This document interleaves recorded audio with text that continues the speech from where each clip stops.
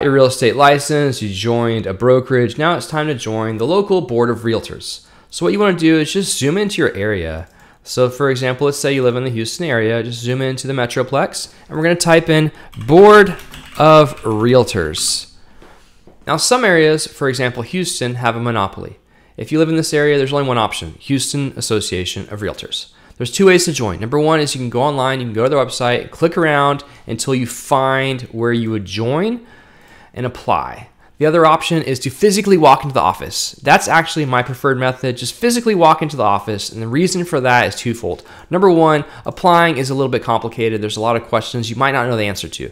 For example, are you applying as a realtor, a designated realtor, or an affiliate? You're most likely applying as a regular old realtor. If you don't know what these are, chances are you're not one of them. You're a realtor.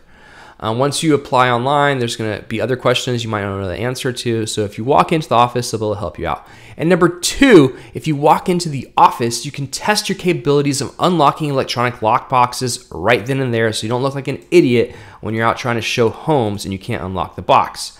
Now, if you live in another area that does not have a monopoly, for example, the Dallas Fort Worth area does not have a monopoly, there are a lot of Board of Realtors. So you have Greater Fort Worth, MetroTex, Lewisville, Collin County, Ellis Hill, Denton, you name it, there's a board for Arlington. So what I recommend doing is maybe picking the two that are closest to you.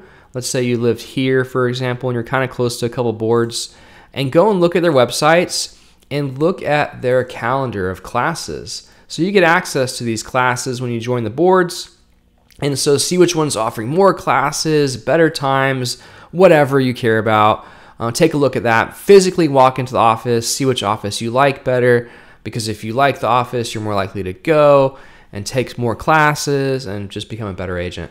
Uh, so that's how you join the board. It's not too complicated. Just find your local board and join.